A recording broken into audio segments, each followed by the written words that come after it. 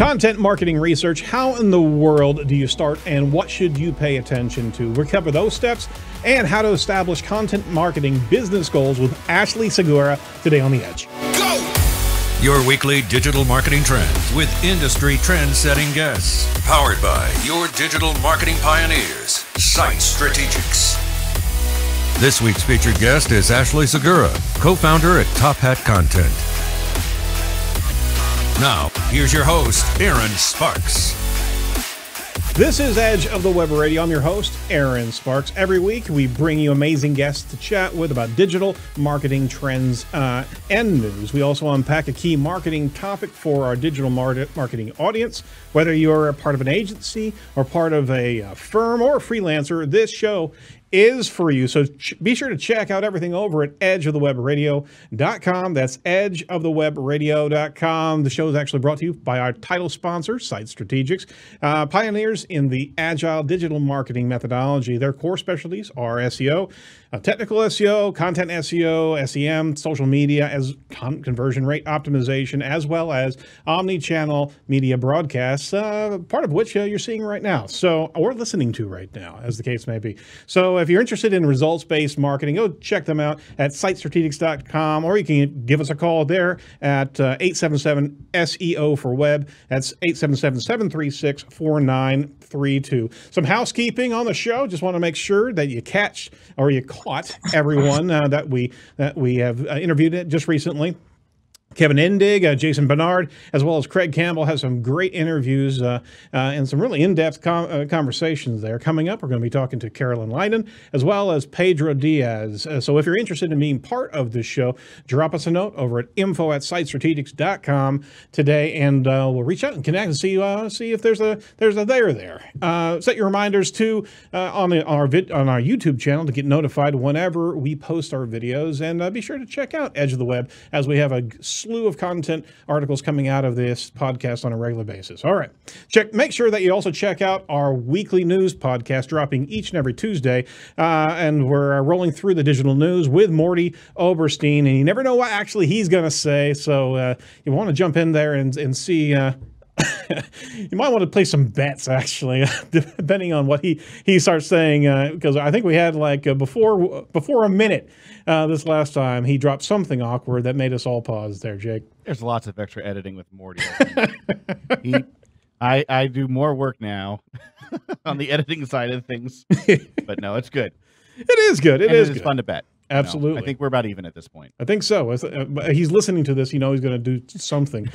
now he's going to start messing with us. Absolutely. All right. So that's the show. And uh, again, our, our podcasts come out each and every week, two times a week. Our interview podcast as well as our news of the week's podcast. So make sure you check both of them out and uh, give us some feedback as well, uh, seeing how we're doing, uh, because that's how we uh, float to the top of the algorithm. So with all that aside, let's meet this week's industry expert.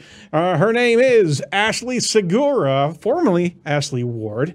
Uh, and I was just unfortunately reminded of that before the show. Ashley's actually an international speaker uh, and VP of operations and co-founder over at Top Hat Content, uh, a, a, content uh, marketing agency. She she has worked extensively uh, both in-house and with multiple agencies, helping clients grow their business online.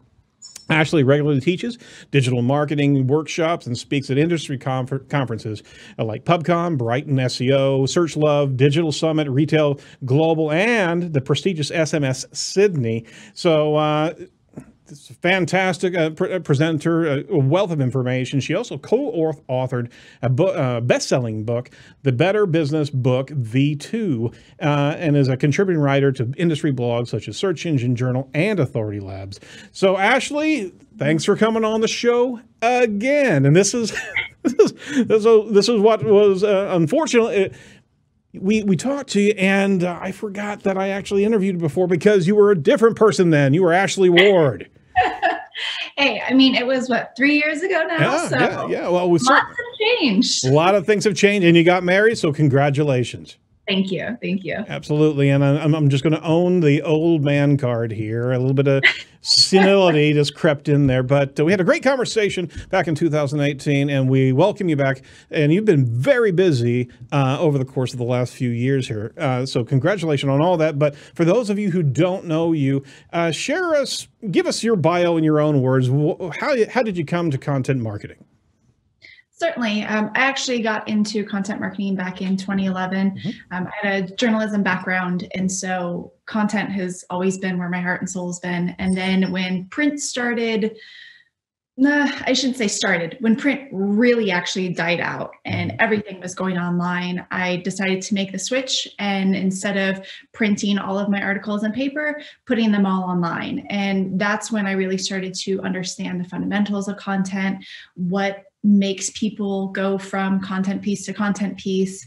Um, I opened an agency. I worked at multiple agencies. I'm now in the fourth agency that I've owned and changed quite a bit to really narrow into offering content services that actually make a difference these days. Mm-hmm. Uh, since 2011, content has changed so much. The competition of content has always been there, but how everyone's digesting it has definitely changed and continues to change. So um, now in 2021, I've been able to really narrow in and niche down on content services and um, content offerings that actually make a difference these days. fantastic, fantastic. Uh, you mentioned the competition of content, um, and I, I, do want to get into that. But th- there's also the the user, the content, uh, the digital, the, the, I should say, the new media audience has has changed from 2011. I mean, they're more savvy. They're they're much more. Um, authentically driven now. So the game is no longer the glut of content ever and never should have been actually. But uh, you've you've got you've got a whole other savvy audience out there that you have to engage and persuade, right? A hundred percent. And the way everyone's searching for information now has definitely changed in the past decade, even in the past couple of years. Mm um, we've gone back and forth of well we need really short content because everyone wants quick answers. And then it was we need really long content because people are taking the time on their phones on their commute or in the afternoon or during work and they actually are digesting the long content. That's and right. then it changed from how people are searching. They're putting long tail keywords in and then they're now they're asking full blown questions as yep. if they're talking to a friend and so it, the atmosphere has changed drastically. We all have a friend in Google. yes. oh boy, that's kind of creepy. Um, so uh, before anything else, uh, you're absolutely right, and love to want to get into this. What does your job actually entail uh, right now? So right now, I'm managing the agency, so it's pretty much anything and everything from business development, sales, uh, creating new products, refining products, working directly with clients, uh, a little bit of everything in the agency life, as well as speaking, teaching. Um, I do, I still do a lot of workshops, oh, cool. uh, a lot of educational pieces. Excellent, excellent. So, uh, obviously, with the shift of 2020 uh, into virtual workshops, how how do you uh, swim there? Were you able to seamlessly uh, transition, and and uh, did you did you miss a beat there? Were things a little bit challenging, or uh, did you dive right in? To be honest, it wasn't that drastically different for me in particular, and mm-hmm. for my agency. Um, I've been in a remote as- atmosphere for about five, six years now. And other than the traveling part being taken away, a, a, mm-hmm. big part of, of what I did was I would travel around the world and go to conferences and right. uh, host workshops and events teaching about content and social media marketing.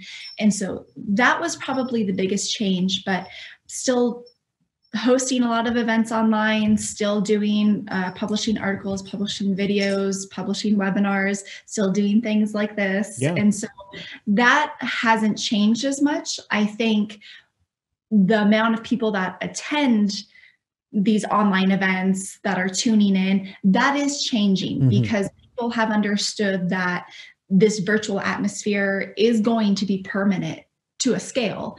And so the idea of tuning in live isn't necessarily as important because everyone knows that most of the content is going online now. And so if you aren't able to catch it right then and there, you're going to be able to catch it later on YouTube or on a recap blog post or Yep. in iTunes for a podcast.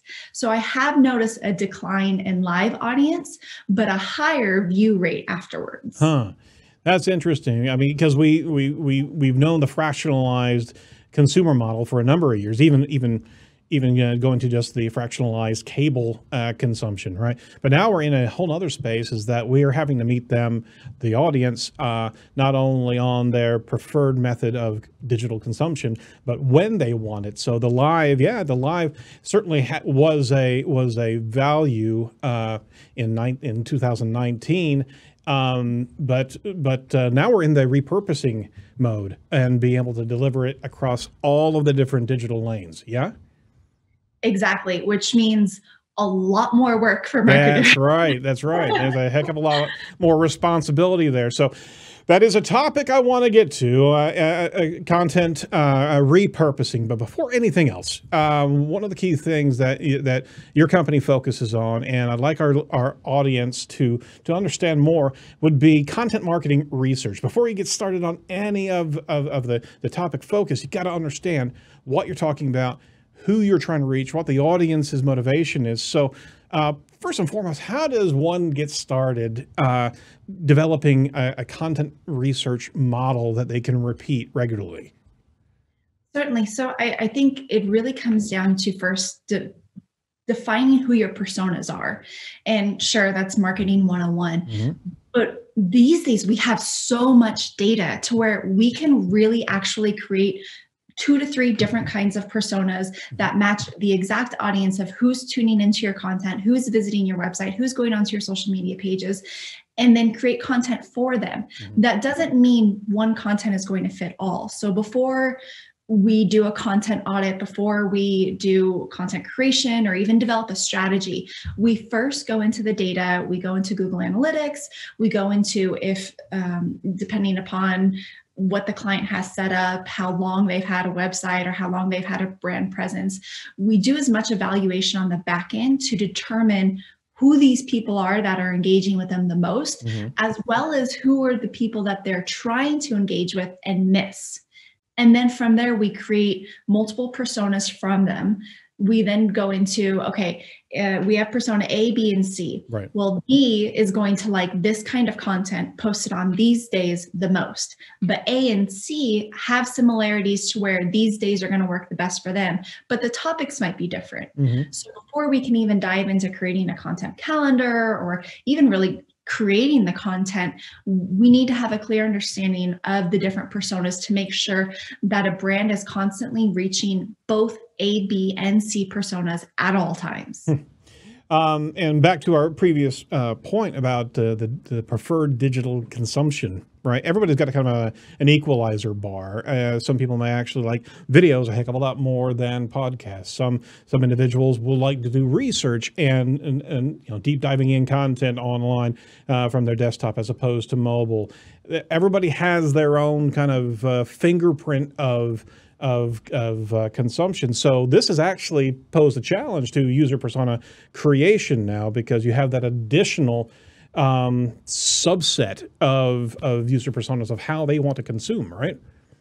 Exactly. And that's why it's so important to look at the data first, especially when you're developing a persona to see what the traffic patterns are. Personas A and C may see the product page, Mhm. see the deal, and the, the offer that's on the product page or the pop up that comes up that says buy now for 20% off, that can get them right away. Whereas persona B needs a whole lot more information. They want to watch a video on it, they want to see all the testimonials. They're probably going to go to Google and search a little bit more to find out about your company, Mhm. see if there's any other reviews anywhere. So you have to understand that all of the content that you're producing, whether you're hitting personas A and C that can be more immediate Mhm. or persona B, you have to create a proper funnel to where you're educating the audience whether they need the education or not. Hmm. Because personas A and C may already go into there knowing exactly what they need. They're just trying to find the right deal or the right brand at the right price. Right. Where persona B, there's no trust yet. They need to be very comfortable with your brand. They definitely need testimonials to to have that credibility.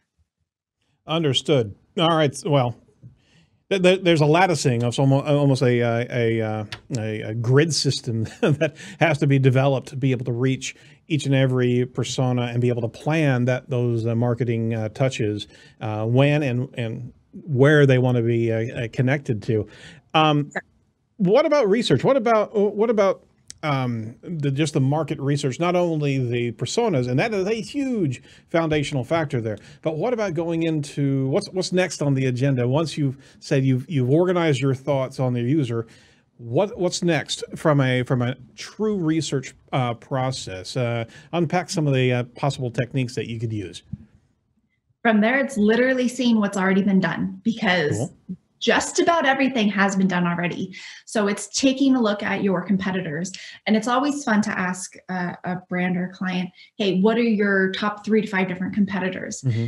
And take that, of course, look at those, but then actually go and use tools to see who the real competition is. Simply go into Google, go into a search engine, right. type in the keywords, type in some of the topics to see what's actually populating because they're nine times out of 10, there are stronger competitors out there than who their direct competition is. Absolutely. So always important to go and actually manually see and then also use there's a plethora of tools that you can use but uh, to also go in and see who's ranking for this type of content? Who is your actual direct competition? And that could be an article that was posted five years ago that's still beating everybody out yep. or an article that was posted a day ago. You need to go in and see what's the structure of that article. What content are they missing? If there's any comments on there mm-hmm. of questions that people are asking those questions can then be pulled in and you want to make sure your article provides that. Because at the end of the day people are going to these competitor sites yep. and getting this because they're getting an answer and that's all they need is they need to be informed or they need to be entertained that's what the whole reason you go to Google for and you type something into a search engine. So if your competitors are doing that better than you, even if they're not your direct competitors, you need to understand why they're doing it better. And it's not always just because of brand authority or because they're Forbes and their domain. Right, right, right, right. So the the the tried and true methodologies of surveys and focus groups and personal interviews and uh, different field trials for re- research.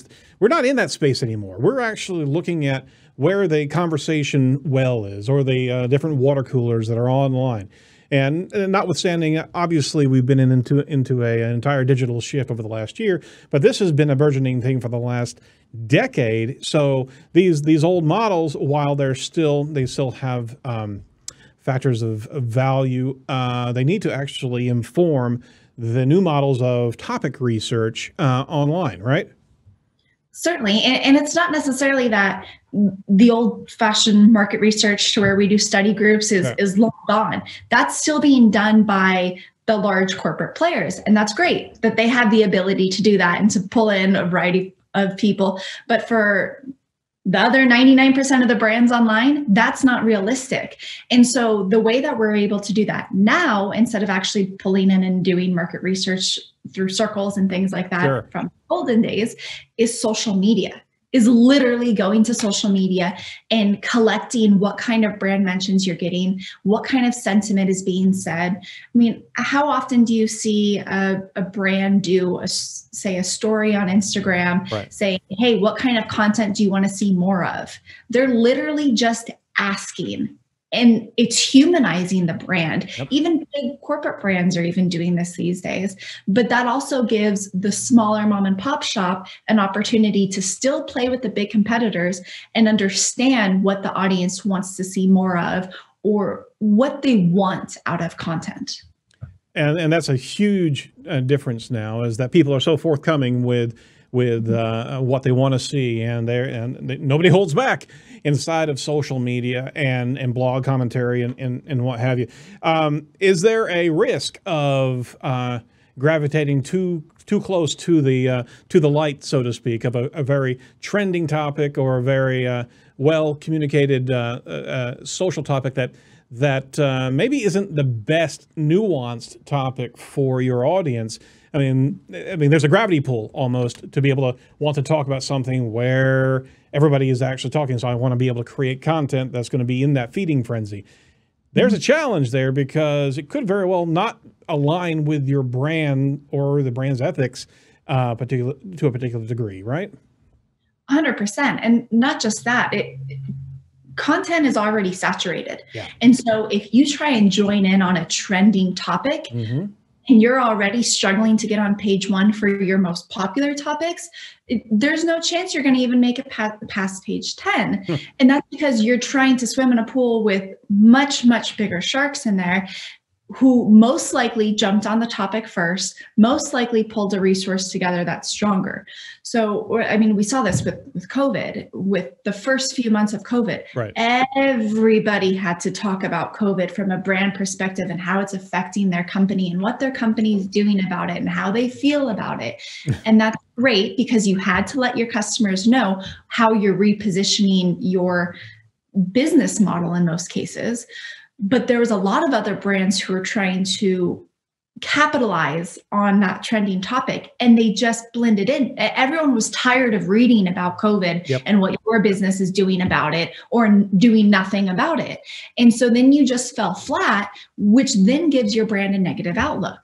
So instead, if if you have a real reason to join in on a trending and participate in, a Mhm. trending conversation, uh, my absolute favorite tool i talk about it a hundred thousand times and it's because it's it's literally my favorite tool is SEMrush's topic research tool.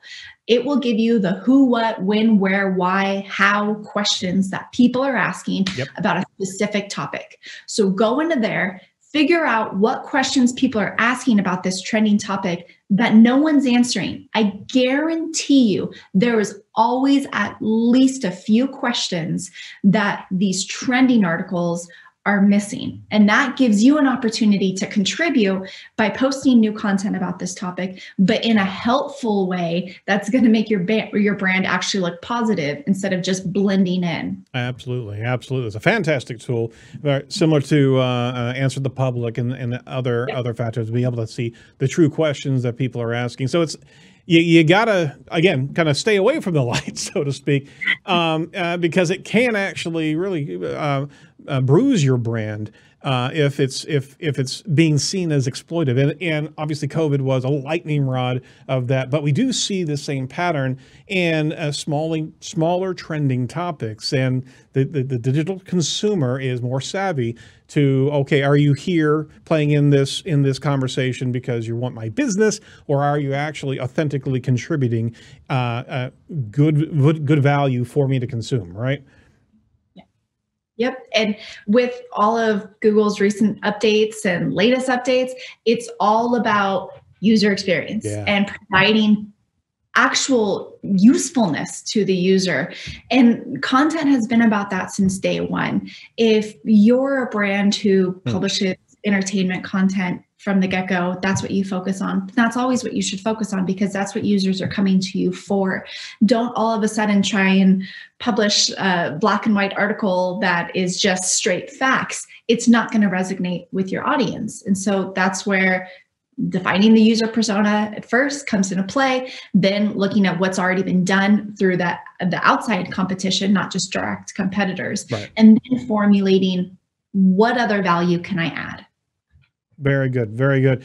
Um, all right, so value is is the key pivot here, and um, I wanted to ask a question about establishing business goals for content marketing. Now, one, the first part of our conversation is about where the conversation is, you know, and be able to arm yourself with topics and subtopics to be able to to to participate. But how do you evaluate um, the true goals of content marketing?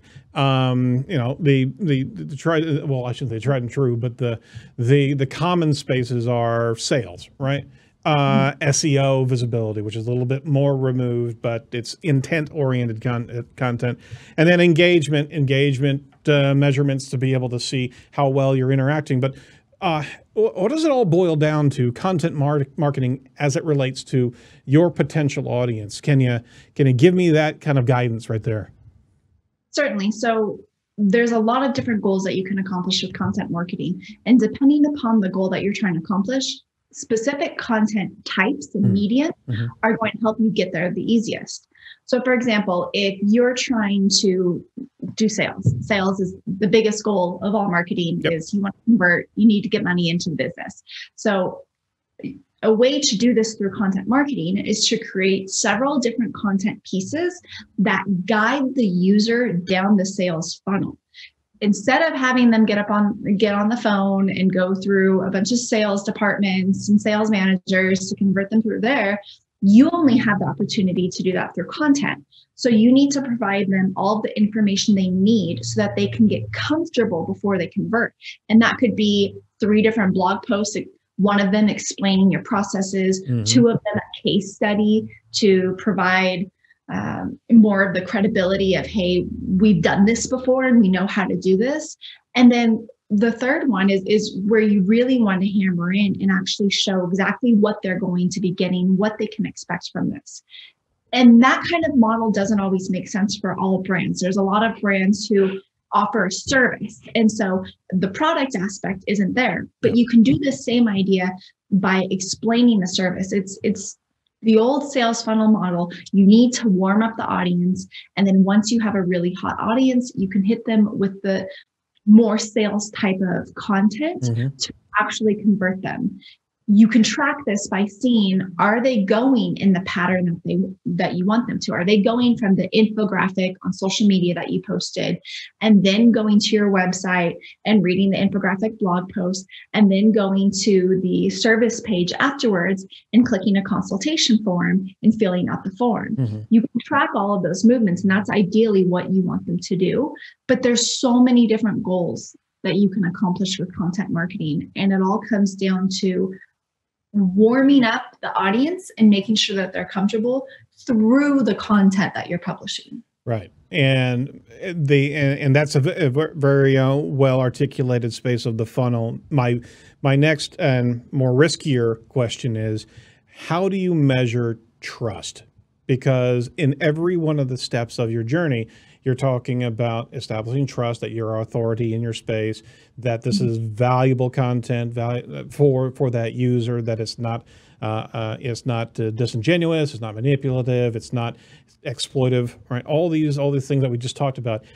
How do you measure trust in the, the digital touches that you have with a consumer, uh, given that you have kind of an omni-channel uh, uh, uh, content marketing marketing strategy? Mhm. So, some of the most obvious ways are brand sentiment. What are people saying about your brand online? Fantastic. How many backlinks are are you getting? Are you getting high authority links? Are other high authority websites linking to you? Because then that doesn't just build trust for the search engines. That also builds trust to other users. Absolutely. If I go on to Food Network because I'm looking for a recipe and they quoted this small local food blogger, I'm going to feel like this food blogger knows exactly what they're talking about because Food Network posted them. Hmm. But another way to look at this from like an analytical perspective is to look at your bounce rate. If you have high traffic with a high bounce rate, right. then you're getting the traffic that you need, which is great. Everybody's coming to that piece of content or to that page on your website, but they're bouncing right off. And of course, that could be a thousand different reasons. It could be how it's loading, it could be the way it looks on mobile, it could be the page speed. But more often than not, if all of those can be eliminated, which you can see in metrics by using Google Analytics or losing or uh, Google Search Console or using tools, once those are eliminated, it's then an issue of trust. You've told them that if they go to this page, they can expect X, Y, and Z. And now they go to this page and they're immediately discovering that that is not there. And so you've now lost trust with them and you've missed an opportunity. And that's why they are leaving either your entire website or they're going back and they're trying to find what they were originally promised and they can't find it with Hmm. you. So whenever you see high traffic mixed with high bounce rate, that can always be an issue of trust. Very good. Very good. How's that transpose into, say, other me- other metrics off site, such as uh, social media or uh, uh, literally any any uh, type of uh, additional content, such as th- podcasts or or uh, videos? How does that actually translate? Because we have smaller sets of metrics to be able to to to, to watch, right? Yes, certainly. And so everybody is as blunt as can be on social media, especially about your brand. I was Yeah. actually just having this conversation with my husband the other day that we only leave reviews if we had an amazing experience or an absolutely terrible experience.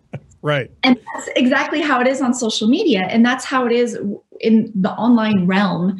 So, being on top of your brand mentions, having a brand tracking tool to where you're always ensuring what the sentiment is being said, especially content. Hmm. When you publish a new piece of content, it can definitely rub someone the wrong way and they're going to share that content. You're going to get the, not the traffic that you're looking for. You may get a lot of traffic to that page, but you're going to have an, a lot of negative sentiment. You can back that by looking at social media, by tracking where all the brand mentions are coming from, Sure. and manually look. A lot of these brand sentiment tools are, are fantastic and usually do a good job of if it's actually positive, neutral, or negative in Mhm. terms of mention. But I always like to take it a step further and do the human approach and actually click through and see who that person was that said that. Go to their profile, see who they follow, see who follows them to have a real clear idea of what this brand mention actually means for Mhm. my brand Yep. and what the reach is. And then stalk them and actually come to their door, right? Yes, exactly. No. If Oh. possible, publicly. well, actually, you know, you know, you know what? Uh, uh, Gary Vee actually uh, wrote the "Thank You Economy" uh, a while back, and there's a number of stories uh, of reaching out to that individual. Right, and there was a great story uh, he had about uh, a guy that was buying wine, and he was putting putting together a wine purchase. He, uh, his team found out that he was a Jets fan, and they got him a Jets T-shirt or a Jets jersey, and uh, the guy that would regularly buy a three hundred dollar uh, order of wine, he bought like four thousand dollars that year. Now that's that's granular, thank you kind of uh, connections. The inverse is also uh, very valuable. If a brand, if if a consumer can see that the brand cares so much that they're actually reaching out and saying. How was your experience, right? And uh, we've talked about this with review responses and making sure that that not only do people see that the brand responds, but finding a way to make their their experience better, right? And, and finding where that commentary is actually happening, either on other blog content blogs or in social or on reviews. That sets a whole pursuit vector of of of learning from your consumer audience because that actually can also trickle back into your organization as a whole because customer service may not even be learning from from the content marketing or the the brand sentiment right? So plugging those wires together can can certainly improve the entire organization Sorry, I got on the rant there, but uh, that's that's that's what, that's what you're talking about. Um, I, I I do I am very intrigued about how to measure trust. Uh, do you have any recommendations on tools that are stellar at brand sentiment analysis? Certainly, uh, Mention is a fantastic tool. Um, I I'm inside of SEMrush every day, and so their brand sentiment tool. It's really easy because I'm already in there doing content work, and then I can just go over and it's tracking for my domains, Mhm. for my brand names, and it gives me the positive, negative, neutral. Um, but Mention is also a fantastic tool. There's also Brandwatch. There's so many of them these days. So it really comes down to what your current tool arsenal is Yep. and how you want to expand that. Absolutely, absolutely. Well, uh, Ashley, we certainly appreciate you kind of, breaking down how to how to measure these goals, and, and that is part and parcel of every content strategy that you put together and all the different tactics. You got to know how to actually measure them, and and as a collective, uh, uh, as opposed to just the individual tactics and their behavior. I mean, there's there's that there's the uh, the, the the holistic perspective of how a campaign is actually running as well, right? Certainly. Certainly. Uh, so we talked uh, a good deal about um, uh, uh, creating a content marketing research process, as well as how to evaluate the business goals and how to create the business goals uh, for content marketing. Now, there's a there's another another step to this equation of how you can create a successful content marketing uh, strategy and uh, tactic ensemble, and that's the the efficient reuse of of content marketing. Uh, before anything, what is content reuse? Can you explain that for us? Certainly. So it's taking a piece of content that has already been published Mhm. and recycling it. So whether you're taking, let's take a blog post for example, it was published last year it's about how to do holiday marketing and you are prepping for your 2021 Q4 calendar and you want to do another version of holiday marketing. Well, Mhm. instead of reinventing the wheel, you can take bits and pieces from that original blog post and either create social media graphics from callouts. You can do audio bites inside of it. You basically just repurpose what the original piece of content was, and you can either update it, you can recycle it into a new content medium. Mhm. I mean, the possibilities are, are really endless when it comes to reusing your content. All right. So it's it's it's not only the con it's the topic matter, and is it also um, you're not just repurposing it verbatim. You're actually dialing it in based on uh, consumer uh, or uh, the, the the consumer's preference, right? So uh, turning something from a long form into a short form, and that's the those the the most uh, uh, general concepts there. But it's it's really uh, kind of getting into all of the different nuances, all the digital lanes, right? And not only just digital, obviously, but um, uh, what are some of the challenges there? And more importantly, when should you not repurpose content?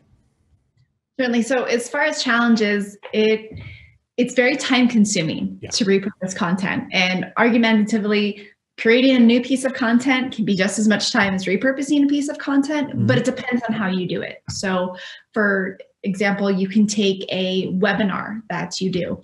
You then take the webinar, you upload it to YouTube, you have the video going. So even if those didn't attend live, they're able to see it. You take the video from YouTube, you embed it into a blog post. You use a blog post to dive even deeper into the topic. Mhm. Because let's be honest, every webinar, every podcast, we we go deep, but there's so much more on a topic. And that goes with blog posts as well. Mhm. So then you can use the text opportunity to dive even deeper to make sure you're answering all the questions, covering everything there is to know about that topic. And you still have the original content in there, which is the webinar video from YouTube as well. So in terms of difficulty, it, it it's just it's a time consuming standpoint. Um, it is nice that you don't have to come up with a brand new topic, but you do need to measure and understand what other points of this topic were not covered you go. that need to be covered. And that's where the time consuming aspect can also come in. So once you have that dialed in, then you can repurpose content all day because you know exactly why you need to repurpose this content and what you need to dive in more Mhm. or clarify. Excellent. Un- understood. Um, and, and I appreciate you looking at it from that nu- that nuance because you certainly don't want to repurpose the same bullet points again and again and again uh, in in different delivery mecha- mechanisms because uh, you could certainly hurt your brand if it, it just looks like it's um, a copy of a copy of a copy and just just uh, uh, sending it out there into the into the digital lanes, right? A hundred percent. And it, it it not only just negatively reflects your brand, but it's mm-hmm. not going to do anything for you. And, and you do take the time to still replicate that kind of content. But no one's looking for replicated content. They can type in the same question inside of Google and get 20 other articles or 20 other brands and sites that are listing the same information because these days, a lot of the time, mm-hmm. We have the top few search results that are generally unique. And then everything underneath of that is taken from those articles. Good old fashioned journalism research. Sure. See what's already been published and repackage it in your own way. Well, that's not going to get you traffic. That's not going to get you conversions. And that's not going to satisfy user intent. Yep, yep, yep, yep. So we have a whole nother mousetrap now in digital is we can actually measure the performance. We can measure that that individual and be able to, as as they go to a particular blog page or a content page, we can remarket with that next level of information and content, so we can further the conversation as opposed to repurposing it and they they can get tone deaf because it looks exactly the same as what they've experienced. Uh, so there's an articulation opportunity there. Uh, and again, we talk buyer's journey, user personas, there's the entire latticing, and then you have the, the different mediums so that all these uh, these pieces of the topic can can uh, uh, be cut up into sushi into little little bits to be able to delivered right when should there not be a a uh, use a reuse of content marketing or is or should there ever be uh, a stop point should you always be trying to do that it's a, li- a little bit complicated. I'm not going to say the big SEO word, and, and I'm not going to say it. Da-da. But it, it's complicated because it, it, comes back to measuring. In, in both instances, if a content that you've published has done really poorly, mm-hmm you should still republish that because you obviously missed something. You didn't connect. You didn't provide the right information. Right. It, you didn't package it correctly. So that's where i recommend repurposing because lots of times it's the content medium or the information provided. So if you did it as a blog post at 1st mm-hmm. do it as a video the next time and address more questions or uh, provide more information. There you go. The same goes if your content did really well. Why touch it if it did so well but what if you haven't even really hit the tip of the iceberg with that piece of content? Right. If you have a topic that's trending and that you have, say, you have like three articles, and this is the reason you're found in search engines and why you have all this traffic and brand recognition is because of these three articles. Well, great do them more do those articles more do those topics more whether it was a um, a short form blog post or a long form blog post or it had a sentence at the top five bullet points five paragraphs and an image whatever you did on those three pieces of content that did absolutely amazing right. do that again and either change the topic or go go at it with a different angle. And this is where, again, you can use SEMrush's topic research tool to see what other questions are being asked. Right. And you can also see the top 10 trending articles for that topic or keyword. So go see what everybody else is doing to see how you can repurpose this just a little bit differently. Absolutely. And that all presupposes that you're measuring it correctly. So you got to know how to actually measure whether it actually drops like a thud or it skyrockets. And some some metrics are are better than others to actually know that the topic is engaging. But but uh, and we talked about this before is, is being able to start start with a topic. You have a lot of additional subtopics that absolutely should find its way into into relevancy and connection with your main content marketing piece. So if you plan ahead for repurposing, right? And again, there's a discipline there, but if you plan ahead for this, um, it kind of writes itself in a way, in a weird way. It, it based on where it's going to be delivered, what type of medium. I mean, for example, uh, if you start with a blog post, right, you've got imagery from the blog post and you've got quote graphics and infographics and instru- well, infographics are a whole nother conversation, but I won't gloss over that. But like instructional images and header images and stat graphics, all those can be then moved into the into the social ecosystem for a trail back to the to the uh, to the destination. That's content repurposing, right? A hundred percent. And and I, I love that you brought it up like this because I always recommend to audit your content quarterly. You don't have to do a full blown in depth huge audit on your content. You can do that once a year. Mm-hmm. But every quarter you should be measuring the content performance of the previous quarter hmm. so that you know what to do in the next quarter and by doing that you're going to be able to pull out what performed great what didn't perform that well and how can i more so what stance should i should i take with these sets of articles that did really well and didn't perform? Should i update the ones that didn't do that well and dive a little bit deeper? Should i repackage them?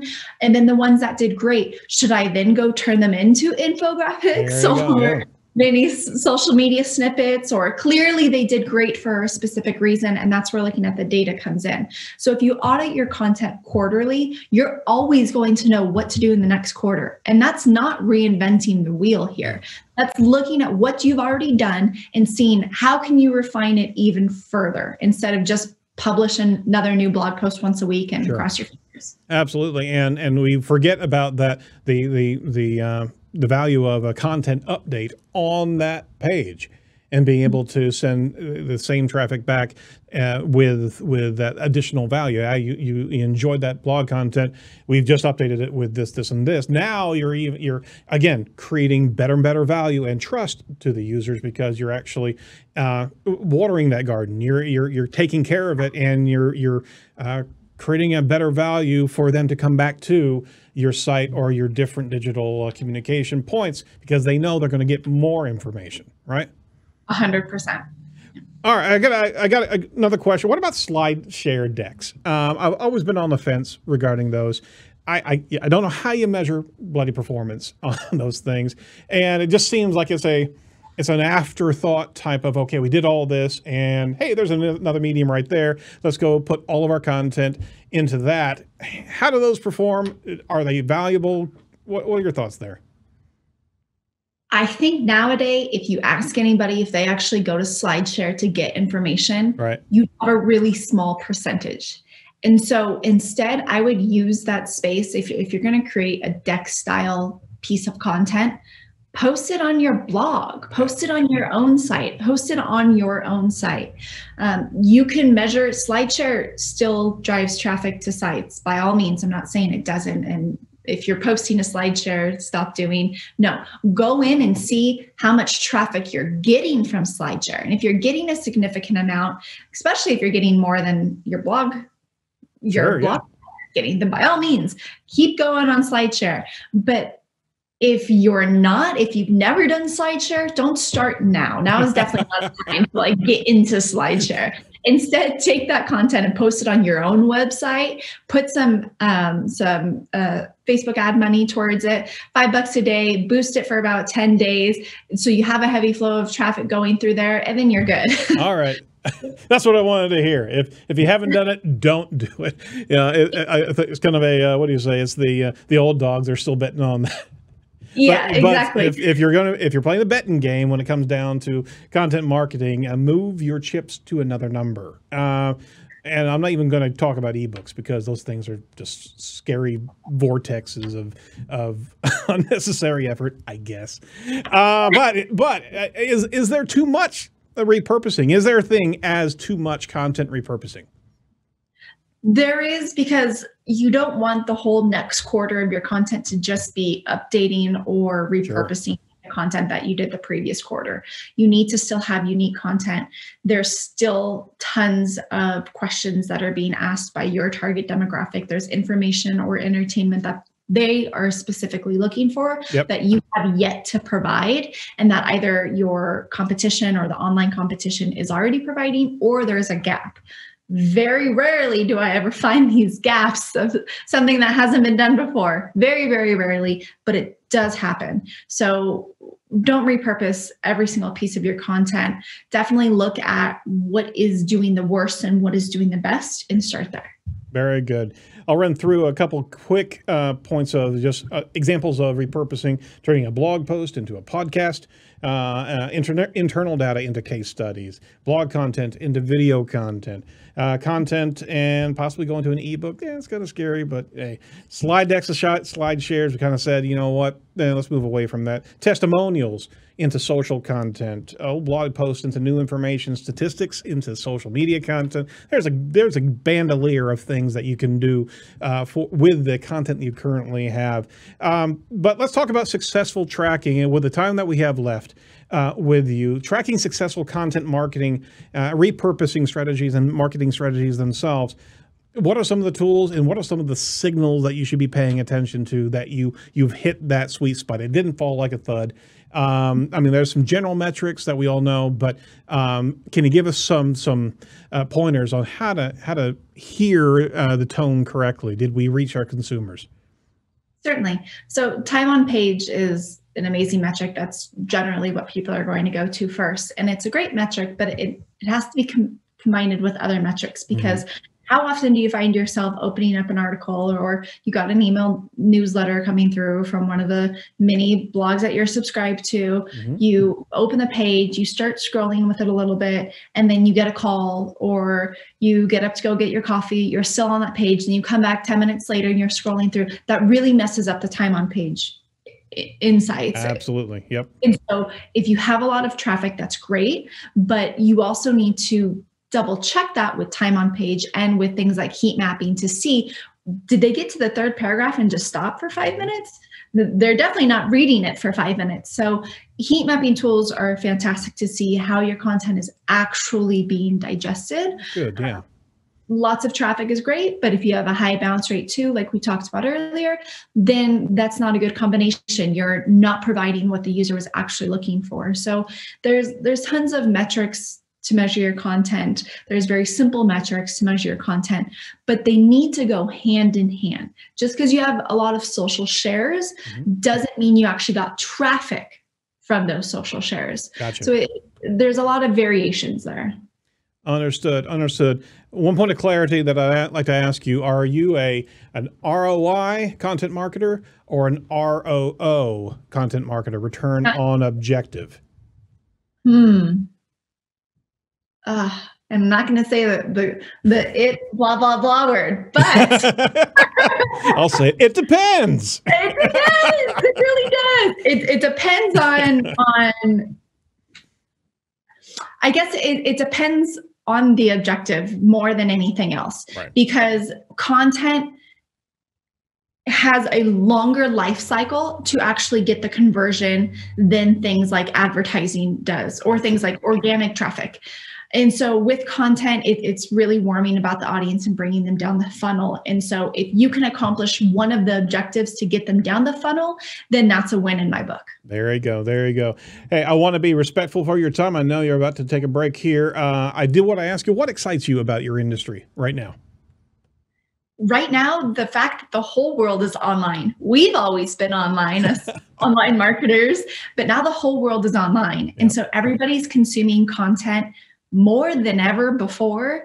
They're consuming various types of content, and the metrics are totally changing. Long form content works, short form content works. Wow. Uh, one minute videos are doing fantastic on social media, and 20 minute videos are doing fantastic on YouTube. So, this is just a really interesting time because all the metrics that we thought we could kind of count on are literally just thrown up in the air right now, and yep. we're all we're taking this day by day to see how each day users are interacting with content. Absolutely. Well, thank you so much for your time. Would you like to leave our digital marketing audience any final thoughts about content marketing today?